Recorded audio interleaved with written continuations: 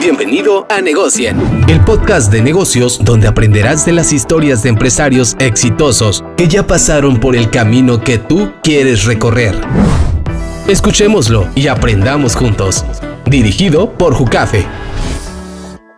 ¿Qué tal amigos que nos están viendo hoy en el episodio número 006 de Negocien? Estamos con un invitado especial, el buen Luis Naranjo, mejor conocido como el Huicho Naranjo, director de La Perrona y otros emprendimientos de lo que hoy nos vas a platicar. Bienvenido Huicho, ¿cómo estás? ¿Qué tal? Pues muchas gracias por la invitación. Aquí contento de estar aquí hasta que se nos hizo ya. Ya es que hace algunos meses me invitaste y listo, ¿no? Para lo que se venga. Sí, ya teníamos rato ahí persiguiéndote y gracias a Dios ya te tenemos aquí. Oye Luis, mira, para empezar me gustaría que me platicaras un poquito de los emprendimientos que tienes. Sé que además de La Perrona, como ya todo el mundo aquí, al menos localmente, me imagino que también nacionalmente ya te conocemos. Ya has llevado el nombre de Tijuana en alto a través de La Perrona. Un gran emprendimiento. ¿Qué otros emprendimientos tienes aparte de ese? Mi primer emprendimiento con el que nacimos, de hecho ahí nos conocimos, fue en Huichos. Mi papá empezó hace 23 años con un food truck ambulante de tacos de pescado. Yo en la universidad me tocó hacerme cargo de ese negocio y lo crecimos. Actualmente somos cuatro sucursales y fue hace 13 años, ¿no? Cuando nos conocimos ahí en un restaurante de uno de los tantos emprendimientos que llegué a tener. Principalmente hemos emprendido en el tema de alimentos y bebidas. Algunos negocios ya no están. El más reciente es en San Fernando Valley, en California, donde ahí en sociedad con otras personas abrimos ahí un restaurante de mariscos tipo baja que se llama Mariscos Los Tóxicos. Ah, que les mando un saludo ahí a todos si nos escuchan por allá. A todos los tóxicos. Sí. Ok, a todo ese no lo conocía. De hecho, había visto por ahí algo, pero no, no sabía los detalles. ¿Ese hace cuánto lo abrieron? Abrimos el primero de enero de este año. Ah, Y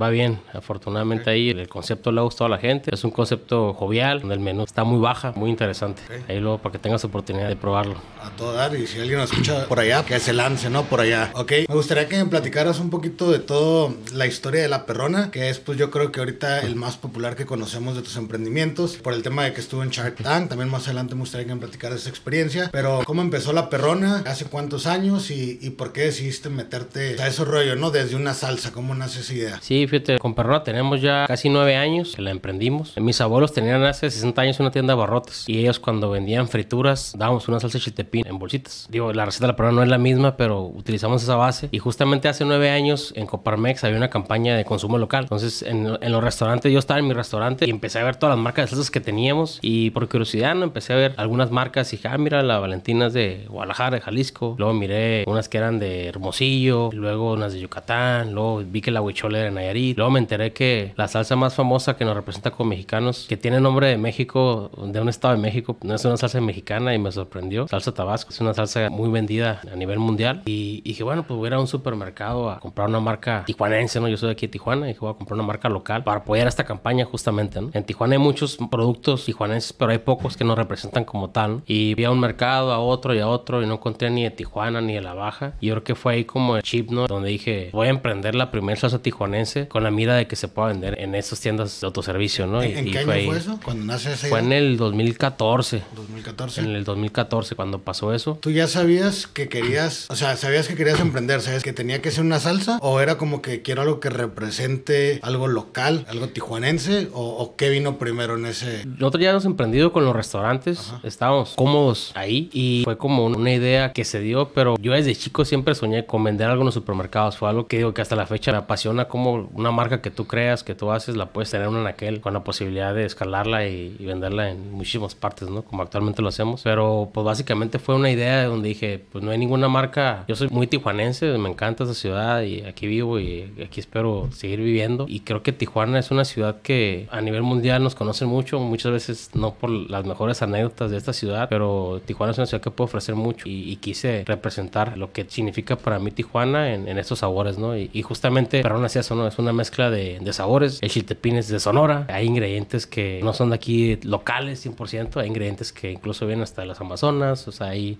ingredientes de la India, otros que vienen de aquí del sur de México, y obviamente pues la botella, la tapa, la etiqueta viene aquí de Tijuana, pero hay ingredientes de muchas partes del mundo incluso, y, creo que es eso que, lo que es Tijuana, ¿no? Tijuana es una ciudad multicultural, es una ciudad fronteriza, binacional, incluso no es una salsa picante, ¿no? Es una hot sauce. Y ya se me dicen, oye, ¿por qué así? Pues porque eso es Tijuana, ¿no? Y, y Perrona para mí representa eso, ¿no? Como algo que es arriesgado, que, que te gusta. Y eso es algo que, una palabra coloquial que usamos nosotros aquí en el norte, ¿no? Para, parecía lo que nos gusta, ¿no? está bien perrón. Está bien perrón. Y por eso le pusimos ese nombre, ¿no? Y le dimos honor. Oye, platícame un poquito del inicio, o sea, como por pasos. ¿Cómo posicionaste? Porque, digo, todos ya hemos escuchado mucho de ti, de que iniciaste con una licuadora, empezaste haciendo tus experimentos hasta que vio el resultado que te gustó y, tal. Pero cómo, o sea, porque si tú me platicas o le platicas a, alguien que apenas se va iniciando en ese mundo, dices, para mí es muy complicado que con una licuadora, o sea, cómo llegas a todos los anaqueles de las principales tiendas, no nada más de México, ¿no? Ya también de Estados Unidos. Entonces, ¿cómo es ese proceso para escalarlo, no? Sí, pues se trata de soñar y pensar en grande, pero hay que actuar en pequeño, ¿no? Eso es algo que, que, siempre he buscado en cualquier negocio que emprendo. Y justamente fue eso, ¿no? Muchas veces me dicen, oye, ¿cómo le hago para vender la Walmart? Y a veces les pregunto, ¿no? ¿Y dónde vendes? No, no, apenas voy a emprender. Pues, oye, pues hay que, hay que empezar como todo mundo empezamos, ¿no?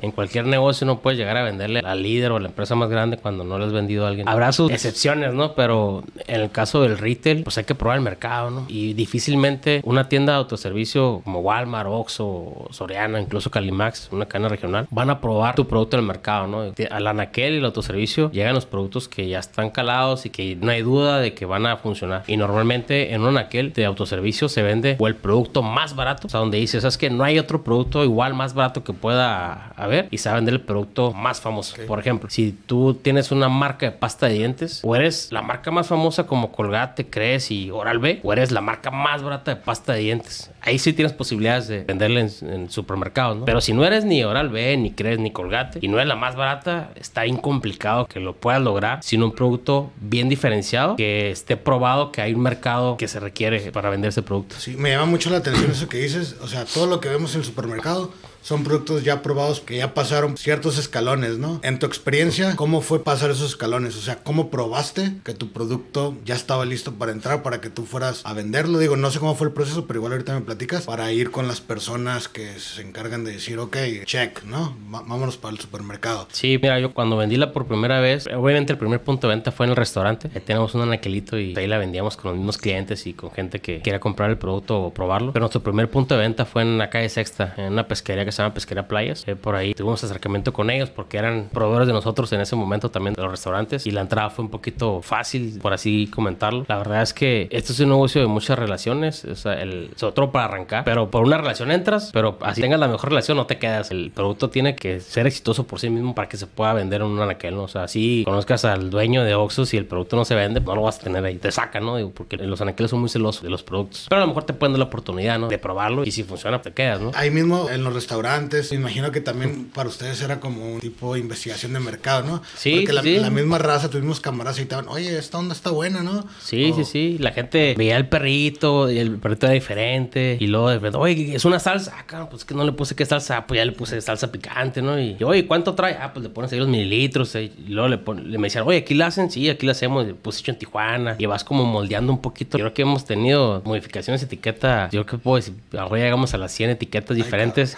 y a lo mejor los clientes han visto uno o dos nomás, ¿no? Pero hemos hecho mucha prueba de error. Donde al final de cuentas, que tu producto ya esté en un anaquel, tiene que diferenciarse, ¿no? Y unas pruebas que yo hago es cuando le subo un poquito el tono del color o hago la letra más grande o le pongo una sombra al logo. Voy y la pongo en un anaquel y le tomo foto. Digo, a ver si se distingue la mía con las demás. Y si no, trato de que se distinga, ¿no? Y justamente lo que buscamos, ¿no? Que sea la salsa que más llame la atención en el, anaquel, ¿no? Pero respondiendo a tu pregunta, ahora sí que la pesquera fue nuestro primer cliente, pero así como ellos, fueron tienditas, restaurantitos, algunos puestos de hot dogs, me acuerdo que en la que empezamos a usar la perrona y venderla. Y fue así como se fue dando. Y era una prueba de mercado, pero al final cuando estábamos validando, ¿no? Que la marca gustaba, validábamos que el sabor gustaba, que el nivel de picor era el que la gente estaba buscando en ese momento y sigue buscando. Y fue así como se fue dando este proyecto que en un inicio fue un hobby. La verdad es de que sí soñé en grande pensando en que íbamos a vender esto en muchos hogares del mundo, pero... Ya lo habías visualizado como está ahora. Sí, pero la verdad es que no me di cuenta cómo se fue dando todo tan rápido. Tan rápido, nueve años, ¿no? Digo que yo siento que fue ayer, ¿no? Y, de hecho, esa era parte de mi duda. También me llama la atención. Casualmente, este es el episodio 6. Los cinco anteriores, en su mayoría, me han platicado también, porque ahorita que me comentas, hemos hecho casi 100 mejoras, ¿no? Todos me han hablado en algún momento como de la obsesión esa de siempre mejorar, mejorar mi producto, mi servicio, lo que sea que se dedique, ¿no? Eso me sigue confirmando, ¿no? Como uno como empresario, como emprendedor, tiene que tener esa visión de siempre, um, esto lo puedo mejorar, lo mejoro. ¿Cuánto tiempo te tomó esos escalones para, bueno, yo no sé si es un referente, pero a lo mejor desde mi ignorancia te pregunto, pregunto, ¿podríamos hacer un parteaguas de éxito de la perrona desde que entraste a supermercados ya nacionales? ¿Cuántos años tomó eso? Ya me dijiste la primera fase, fue la validación del producto, hasta llegar a supermercados, que me imagino fue un parteaguas de éxito. Sí. ¿Lo consideras así? ¿Cómo fue todo eso? Sí, de alguna manera creo que es como la primera estrellita, ¿no? La grabación que te das así de tu producto, ¿no? Nosotros ya teníamos como un par de meses con el producto y entramos a la primera pescadería, los primeros éxitos que tuvimos. A los seis meses entramos a la primera cadena importante regional. Ya teníamos 77 clientes en seis meses, entre restaurantitos, pescaderías, puestos de la esquina y tienditas. Y Smart Final, una cadena de 17 supermercados en Baja California, nos dio la oportunidad de probar el éxito que habíamos tenido en 77 clientes en estas 17 tiendas, ¿no? Y nos fue bien. Cuando entramos, yo no sabía ni de qué trataba. Yo vivía las primeras citas con los compradores y digo, pues, les hablas del producto y todo, pero hay muchos términos profesionales en el retail que no conocía, ¿no?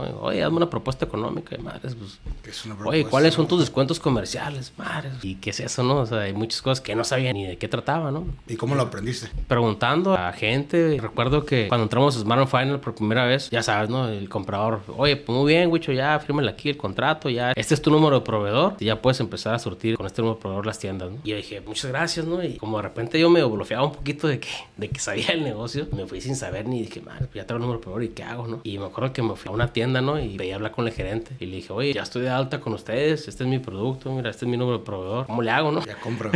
¿Cómo le hago? no? Y pues, amablemente, ¿no? Me dijeron, ah, mira, entras por la parte de atrás con un gafete, das tu remisión, facturas, acomodas el producto y te aseguras que tengas tu precio puesto en la etiqueta. Y listo, lo hicimos ahí las primeras o veces. sea, ya te das dando cuenta como Sí. que los protocolos que tienen las tiendas y... Sí, fuimos, fuimos conociendo ahí un poquito cómo funcionaba. Me acuerdo que cuando nos dieron de alta, pues, yo no sabía ni dónde había Smart Finance, pues me metí a Google y de repente veo que había una tienda en San Luis Río Colorado. Está como a cuatro horas, un poquito más de cuatro horas de aquí de Tijuana. La primera, pues ahora sí que divertido, ¿no? Qué novedad, ¿no? Dije, ah, pues, vamos a San Luis Río Colorado a entregar ahí un pedido de caja. Y fuimos y lo entregamos y todo bien cool, ya sabes. ¿no? Y a la próxima semana, oye, pues, falta otra caja de salsas y que, ay, güey, otra vez, ¿no? Ya como que, ya ir varias veces como que ya no era tan divertido. Sobre todo cuando la gente me preguntaba, oye, Wicho, ¿y si es negocio que vayas a entregar una caja a San Luis Río Colorado? Y yo decía, güey, ¿tú qué crees? Digo, si lo ves como si es rentable, en el corto plazo, pues, obviamente no. Digo, no, pues me gastaba más de casetas, de gasolina, de los tacos que me tenía que comer en el camino y lo que era todo mi día, ¿no? Por ir a entregar una caja de 20 piezas de salsas, pero justamente era eso, ¿no? Era sembrar La semillita. la semillita era sembrar una marca en San Luis y sembrar un proyecto y un producto que queríamos estar ahí y queríamos que fuera un parteaguas para lo que venía como tú comentas, ¿no? Y sí, Smart Final fue el parteaguas. Fue complicado entrar en Smart Final, pero después entramos a Calimax y les dije, ya les vendo el Smart Final. Y cuando ya estábamos en Calimax, fui a Soriana y les dije, ¿qué crees? Ya traigo 77 clientes, traigo Smart Final y ya le vendo Calimax. Entonces, de alguna manera, Soriana, digo, tardamos un año en entrar, pero fue un proceso ya un poquito más fácil y aparte que ya tenemos experiencia de qué documentación nos pedían y ese tipo de cosas, ¿no? Entonces se fue la cadenita, ¿no? Se fue la cadenita a tal manera en la que ya estábamos, yo creo que en las principales cadenas de, de Baja California, a lo mejor traíamos ya unos 3.000, 3.500 puntos de venta. ¿Cuántos años te tomó consolidar eso? Entrar a todas las cadenas. Yo creo que fue como unos tres años, cuatro años, yo creo, más o menos. A lo mejor tres años estamos en la, en la mayoría, pero hay cadenas todavía en las que no vendemos y se hace la, luchita, ¿no? Claro. A partir de Martin Final fue muy rápido, entonces, ¿entre las demás? ¿O entre el primero de esos Martin Final y las demás, cuánto hubo en ese trayecto? Después de Smart Final, la marca ya tenía seis meses y entramos a Smart Final. Ah, ok, fue a los seis meses eso. De ya tener la marca lista. Ok. Ya, ya viniendo en como 100 puntos de venta, ¿no? Y Calimax, yo creo que teníamos como pasadito del año cuando entramos a Calimax. Y de ahí, a lo mejor como al año y medio entramos a Comercial Mexicana. ¿A qué te refieres ya tener la marca lista después de seis meses? Porque hubo un trabajo antes de seis meses. De, de cuando arrancamos, digamos, cuando vendí la primera botella, para mí fue como el etapa de lanzamiento. Y a los seis meses entramos en Marine Final, como al año en Calimax y como al año y medio en Comercial Mexicana, yo creo. Ah, yo hubiera imaginado que fuera más tiempo, ¿no? Sí, ahora sí que somos muy tercos, ¿no? Para, Para conseguir los objetivos. Para, conseguir lo que, que buscamos y disciplinados más que nada, ¿no? E insistentes, yo creo. Claro, claro. Oye, y platícame un poquito también de lo de Shark Tank, ¿no? Porque bueno, entras en la temporada 2 de Shark Tank. ¿En qué etapa de la empresa iba ese momento? ¿Ya estabas posicionado? ¿El cuánto tiempo fue? ¿Y cómo fue todo ese proceso para entrar a Shark Tank? ¿Te sirvió? ¿Cómo fue? Sí, digo, cuando fuimos a Shark Tank, estábamos en esa etapa de que ya tenía a lo mejor 3, 4 clientes buenos y una distribución con otro cliente que ya vendía como en 3.000 tienditas tal vez. ¿Ya estaban ahí en el Martin Final? Ya estamos en Marine Final, ya estamos en Calimax, ya estamos Ah, en comercial ah, mexicana, ya había intenciones de gente que nos quería comprar en Estados Unidos productos. Y yo creo que fuimos a Shark Tank cuando ya teníamos tres años. Ah, ok, o sea, ya, Ya, estabas ya. posicionado. Ya habías Sí. pasado los escalones difíciles,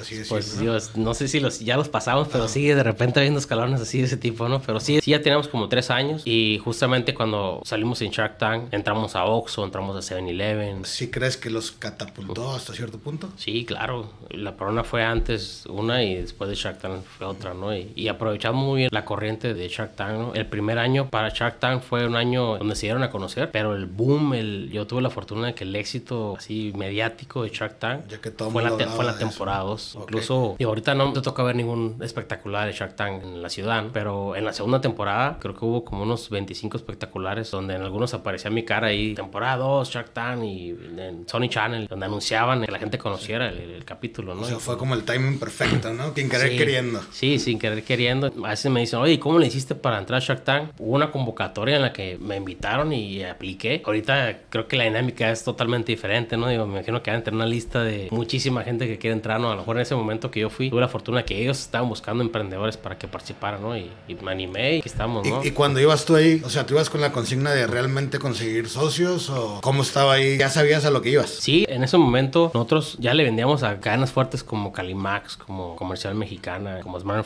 Final y seguíamos envasando a mano, etiquetando a mano. La tapa la poníamos a manos. Toda la operación era muy manual. Tenemos licuadoras industriales de 20 litros, pero siguen siendo licuadoras. O sea, lo cual les tomaba mucho más tiempo, Sí. dinero, este, esfuerzo. Sí, sí, sí. Y estábamos con la necesidad y con las ganas de comprar una línea de producción de envasado para las salsas, ¿no? Obviamente no traemos el capital, el negocio en el retail es un negocio en el que el, el flujo financiero es algo importante. Tú pagas todos tus insumos, si bien te va a 15 días de crédito, 30 días o algunos de contado y no hay ninguna cadena que te va a pagar a menos de 45 días, ¿no? Digo, cuando hay otras cadenas que te pagan hasta 120 días, ¿no? Entonces sí es un negocio donde el flujo es algo que puede determinar tu crecimiento, ¿no? De hecho, esa era otra de mis dudas. ¿Cómo le haces para sobrevivir a esa falta de liquidez? Y no sé si ese sea de los principales problemas que tiene un modelo de negocio como el tuyo o qué otras broncas has visto ahí en el camino y cómo las has solucionado también. Sí, digo, son varios temas importantes, ¿no? Uno sí fue el tema del flujo financiero, sí es algo importante. Afortunadamente yo nunca he vivido de la salsa, he vivido de mis restaurantes y lo que si la salsa gana 5 pesos, 5 pesos se reinvierte, ¿no? Entonces todo ese flujo se reinvierte de ahí. Siempre he dicho, oye, si fuera mi pr- principal fuente de ingresos, a lo mejor el crecimiento no hubiera sido lo mismo, ¿no? Porque ¿cómo le haces para, o le pongo gasolina a mi carro, o compro un boleto para ir al cine, o lo invierto aquí, ¿no? Entonces sí es un negocio de flujo difícil. ¿Cuántos años lleva hoy la perrona? Nueve años. Nueve años. ¿Hasta el día de hoy sigue reinvirtiendo todo o cuántos años estuviste sin ganar? Yo creo que sí fueron a lo mejor unos siete años, yo creo. Ya había utilidad, Pero- se decidía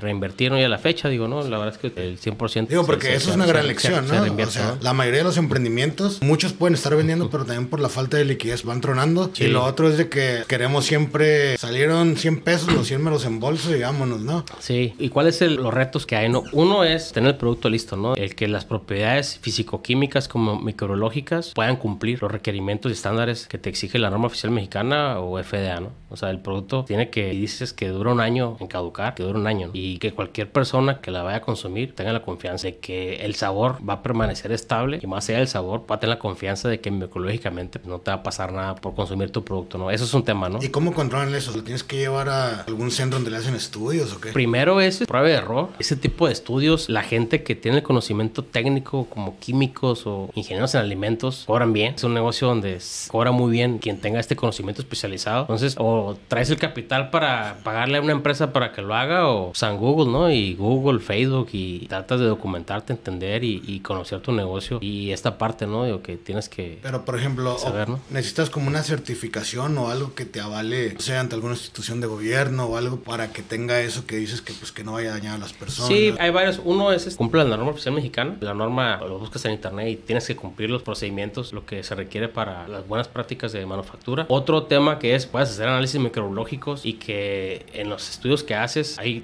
laboratorios aquí locales. Algún emprendedor que me está escuchando hace un análisis de microbiología, de, a lo mejor de hongos y de levaduras y que te cuenten cuántas partes por millón hay microorganismos que están creciendo y te dicen si son aptos para consumo humano. En un laboratorio, en un estudio de unos mil pesos, yo creo, digo, es una buena prueba que puedes hacer, donde obviamente las condiciones en las que produzcas tu alimento pues, tienen que estar limpias, cubrebocas, todo eso hace diferencia, ¿no? Que sanitices todo lo que usas, todo eso hace una gran diferencia. Eso me llama la atención porque ¿cómo aprendes eso? Y yo creo que son de las cosas que nadie te dice. Eso Sí. no lo aprendes en la universidad, no lo aprendes en ningún lado, ¿no? Son temas como muy especializados. Son, ahora sí que son chingados que te vas dando, o sea, saber que, ay, esto nadie me lo dijo, pues ni modo de investigarle. Sí, digo, nosotros teníamos ya una poco de noción por el tema del manejo de alimentos en los restaurantes, pero pues esto es algo un poquito más delicado, ¿no? El poder envasar un producto, ¿no? Pero más allá del proceso de manufactura que cumpla buenas prácticas y que sabes que el producto ya esté listo, pues, hay otros, ¿no? Como tu código de barras. Me acuerdo que tardé fácil como un mes en entender cómo sacar mi código de barras, ¿no? Y le metí a Google y a YouTube y por todos lados y preguntaba y sabía que era un código único, repetible. Y cuando supe, encontré gs1mexico.org, que parece que les hago publicidad, pero sí,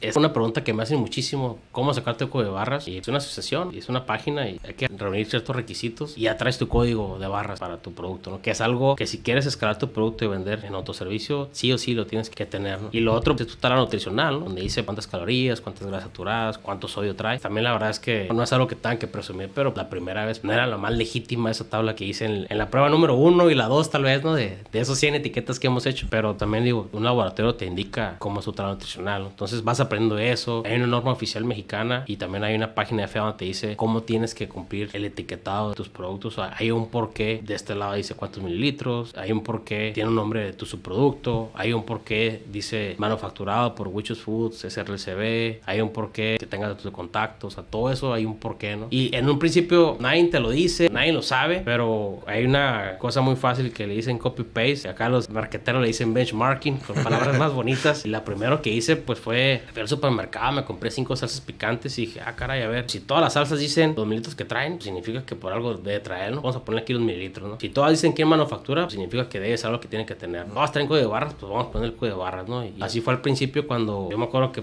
con mi diseñador que diseñó la etiqueta, tampoco sabía qué tenía que cumplir en el etiquetado, pero analizamos las diferentes marcas de salsas y dijimos, todas estas traen esto en común, pues pone esto, ¿no? Y, por ahí va, yo creo, ¿no? Claro, y así fue. Si los líderes de la industria lo hacen así es porque ellos ya investigaron algo Claro, bien, ¿no? aunque te soy sincero, eh, digo, ya cuando vas conociendo la norma de etiquetado, te das cuenta, digo, yo soy, ya que estoy en este negocio, siempre estoy viendo etiquetas y las leo, digo, ah, qué inteligente, pusieron esto porque quieren esconder esto, ¿no? O, Ok. o estos cuates no cumplen esto y nadie le dice nada, ¿no? Pero son marcas gigantes, ¿no? Y ahí están, ¿no? De repente toca ver ahí esos reportajes de Profeco, ¿no? De que le pegan al atún, que porque que no era 100% atún, ¿no? Que de repente le pegan a, no sé, a la leche, que porque no era 100% leche y cosas que ocurren en el mercado, ¿no? Pero se supone que hay una regulación, ¿no? Se supone que las andan checando y todo, ¿no? Sí, pero pues es México, ya sabes, ¿no? Ya estaremos en otro tipo de podcast político, yo creo, ¿no? Pero así pasa, ¿no? Pero no es como pensamos. Sí, digo, hay muchas cosas que ocurren en esta industria como en cualquier industria. Ya es otro tema para otro podcast, yo creo. Ok, Luis, ahorita que me decías de las etiquetas, estoy viendo aquí la botella. ¿Qué onda con eso? O sea, desde que pusieron las etiquetas de exceso de sodio y todo esto, y pues las estoy viendo aquí, ¿qué significa eso? ¿Por qué todas las marcas tienen como si todos fueran malos productos o qué onda? Sí, pues, fue una norma que salió, creo que fue Cofrepris quien la propuso y se aprobó, donde digo, se les exigió a quienes produzcan alimentos a que anuncien, ¿no? Por ejemplo, nosotros estamos excedidos en sodio, ¿no? Por ciertos mililitros de tu producto o por cierto gramaje, excedes cierta cantidad de sodio, tienes que tener una etiqueta que dice que es producto alto en sodio, ¿no? Digo, Pero literal todos tienen, ¿no? ¿No existen productos saludables o qué? No, digo, por ejemplo, nosotros cuando pasó esa nueva ley de etiquetado, nosotros sí dijimos, vamos a hacer una salsa bajo sodio o algo, pero literal le quitamos la sal, toda la sal del producto y de tomos las mismas características de los ingredientes que componen la salsa contenían sal, sodio, los chiles secos, por ejemplo, ¿no? Entonces fue algo que no se pudo, ¿no? Aparte, por ejemplo, una salsa picante, si salta en sodio, si te tomas media botella, ¿no? Habrá gente que sí se la echa en una comida, pero lo normal es que pues, a lo mejor Gotitas. 5 o 10 mililitros, ¿no? Te, te consumes de, de salsa picante y no va a hacer la gran diferencia en tu organismo por el sodio, se, ¿no? eso se refiere como al total, ¿no? Y, y no a la una porción. Sí, ajá, hay ciertas características que te piden, ¿no? Por ejemplo, aquí por 100 mililitros, ¿no? De cuánto sodio trae, ¿no? Y hay productos que, obviamente, todos sabemos que hay ciertos productos que no son lo mejor para el consumo humano, que van a ser altos en azúcares o grasas saturadas o sodio, algunos que traen incluso hasta 4 o 5 sellos diferentes, que es golosinas o productos chatarra. Pero incluso hay, no traigo ahorita la idea, pero tenía una amiga que incluso hacía un té, creo que matcha, y su producto era alto en azúcares, ¿no? Por la misma naturaleza, ¿no? De lo que manejaba, entonces es algo que está,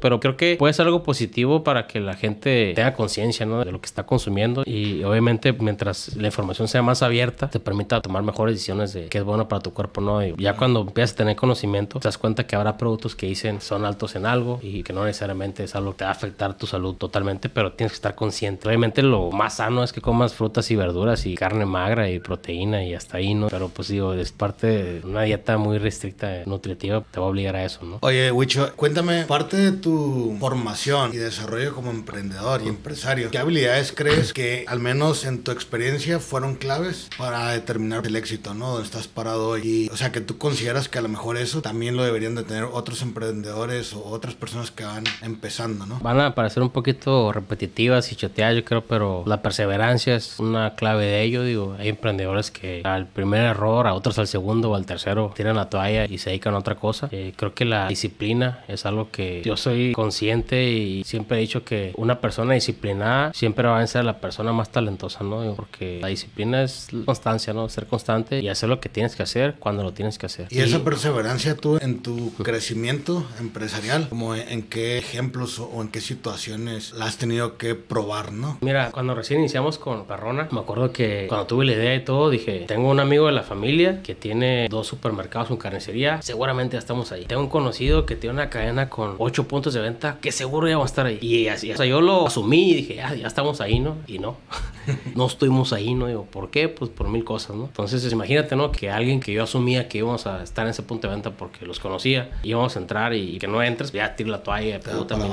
Sí, yo llegué era literal a tocar puertas en lugares donde me decían, no, es que tu salsa está bien mala, es la peor salsa que he probado, no, no pica, oye, esa marca qué, ¿por qué? O sea, literal, ¿no? Obviamente si te agüitas, ¿no? Que te digan que algo que tú haces con tanto esfuerzo y esmero y con energía, entusiasmo, que te digan que no y te, te lo piquen así bien fuerte, sí te pega, ¿no? Pero yo creo que es eso, ¿no? La resiliencia que tienes para afrontar eso. Y eso es lo menos que te puede pasar, ¿no? hay veces en las que, pues decir, oye, necesito ir a comprar tapas, pero Soriano no me ha pagado. Y ahí te habla con el pro, oye, pues échame la mano, oye, pues quédate eché la mano la semana pasada, pues échame otra vez, ¿no? Y así, el que tener de repente privarte de algún lujo personal o algo, algún viaje, ¿no? Y de repente yo veía a mis amigos Semana Santa acá en, no sé, en Mazatlán, disfrutando una buena michelada y, yo pues decía, oye, o me voy a Mazatlán o pago el viaje a Monterrey porque tengo una junta con Soriana, ¿no? Para ver si le vendo la parrona, ¿no? Entonces son muchas cosas y eso es disciplina, ¿no? Disciplina financiera, de decir, o me premio ahorita o me premio después, ¿no? Y yo creo que son decisiones que siempre el lidiar con eso es algo que tiene su chiste, ¿no? Y obviamente a todos nos gusta premiarnos, ¿no? Y a todos nos gusta disfrutar por lo que trabajas, ¿no? Pero pues, ahora sí que es disciplina el decir, pues, a lo mejor me aguanto ahorita, ¿no? Y para después, ¿no? Y a lo mejor en ese después ya puedes eso que querías antes, bueno, pero quiero esto, ¿no? Y yo creo que es el jueguito, ¿no? Del emprendedor y decidir uno cuándo dejar de sacrificarse o cuándo empezar a premiarse, que también se vale, ¿no? Tienes que aprender también a premiarte y darse ese gusto, ¿no? Es algo que mi papá siempre me enseña y me aconseja y me dice, oye, no todo es trabajo y no todo es invertir. Y a veces cuando ya estás en este juego y cuando tu sueño es más grande que tus excusas y bueno, porque tu apuesta va más allá de todo, te vas a link, todo es con el beneficio de tu emprendimiento, de tu producto, ¿no? Tienes que compensar o equilibrar esa parte. ¿Cuál fue la mejor estrategia que tuvo la perrona en cuestión de ventas, ¿no? O un tip que me pudieras dar o le pudieras dar a alguien que diga, esto a nosotros nos funcionó muy bien. Nosotros siempre buscamos que la gente nos compre en vez de ir a vender. cuando ya vamos a vender, ya traemos como que la, actitud de que nos tiene que comprar porque nos tiene que comprar casi casi, ¿no? Creo que es bien importante trabajar en el posicionamiento. No todo es como buscar esa rentabilidad inmediata de tu producto. El hacer una marca y venderla en un supermercado es difícil entrar, pero es más difícil que el consumidor elija tu producto ya que entraste. Eso es lo más complicado. ¿Y cómo la posicionas? Así en resumidas cuentas, en tu experiencia, ¿qué funcionó para posicionarla? Tratar de estar en todos lados donde se pueda. Nosotros, y hubo un punto en el que decía, oye, pues necesito, hay muchos influencers, nos han hecho, digamos, anuncios gratis, ¿no? O, que nos han publicado en sus redes sociales porque la usan, porque les gusta,